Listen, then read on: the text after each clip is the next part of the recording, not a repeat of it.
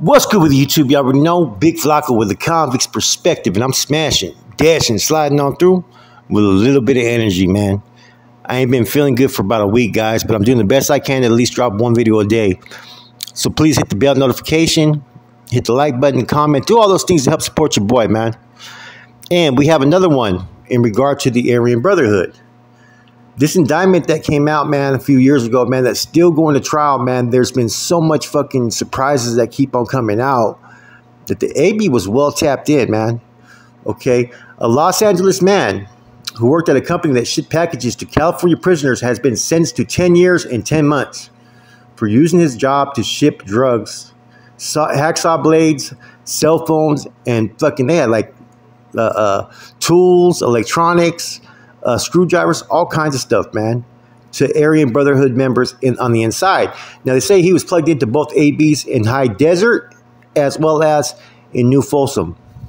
Justin Petty was sentenced Monday by U.S. District Judge Kimberly Mueller, who has also ordered Petty to undergo five years of supervised release after his prison time.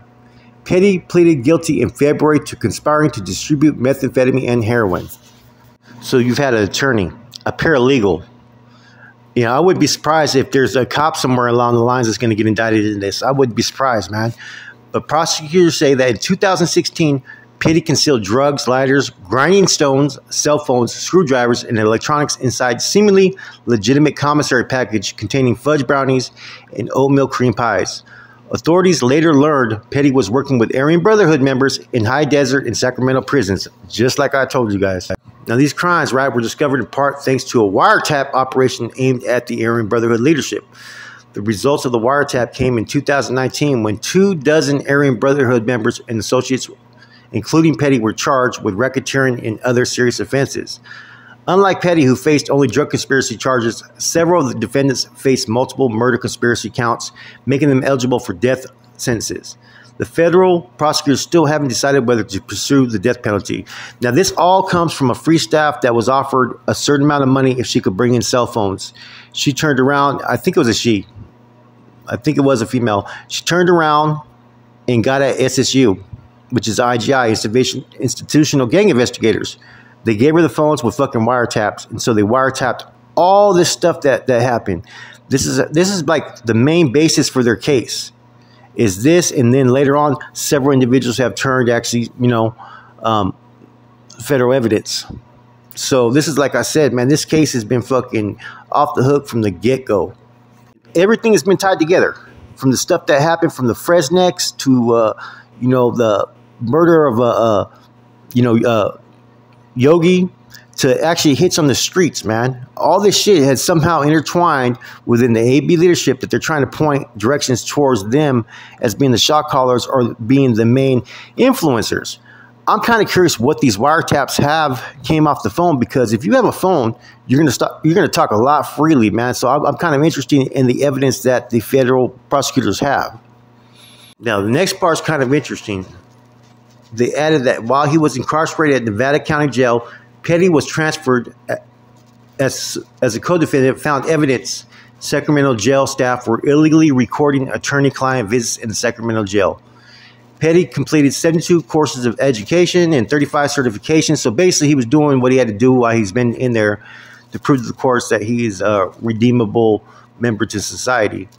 Now, what I find kind of interesting in this whole case is the Sacramento jail were illegally recording attorney client visits in the Sacramento County Jail. That's a serious violation, right? That right there could get several people's cases thrown out, from my understanding. Um, that's going to be another uphill court battle that the federal prosecutors are going to have to deal with, man. This is the first time I've actually heard that. There was a lot of things to this case, like I said a couple, like about a month ago or a couple weeks ago, that just weren't making sense, and now it's making sense. It, it, maybe the reasons why they're not publicizing all the crazy shit that's going on revolving around this case in the social media or in the news is because there may be a lot of loopholes to this case, man. I think the incident within the Sacramento County Jail of being able to record attorney and clients conversations is a big fucking issue right there. Number one.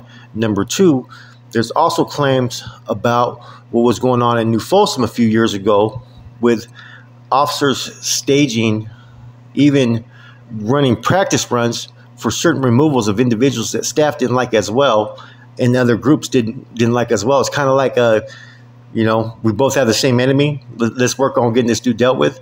Now, those were raised by one another AB member eh, that's in this involved in this case. So it's going to be kind of interesting to see how everything plays out. There's been a lot of people who've taken deals. Some have taken deals uh, based upon cooperating. Some have just taken deals because of the minimal role that they played. But there's a lot more uh, details to this indictment than people realize. There's a lot. There's about what? Shit, six, six. I don't know how many murders. A bunch of murders. A bunch of attempted murders.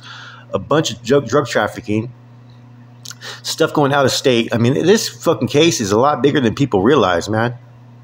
Now, like I'm saying, alleged. This is all allegations. You know what I mean? But there's going to be a lot of um, a lot of legal work going ahead to see how this case proceeds. Because, like, I don't know how you're going to get get around the issue that you guys were that they were recording people's uh, uh, lawyer visits. I mean, that's a big no no, man. I mean, that could get your case thrown out. You know, they were having the same problem, I think, in uh, Santa Cruz County a, few, shit, about a few decades ago. And um, that was one of the main issues that was being pushed. And I remember that they had to make certain um, changes to the uh, visiting over there and the recordings to make sure that their conversations weren't being recorded. Now, at the end of the day, this is a, like I said, this is a prize if you're an inmate, is to have someone that's um, works for a vendor that can put things in your packages to go out. I'm not saying that this is what he did, but this is the allegations that he's already uh, pled guilty to.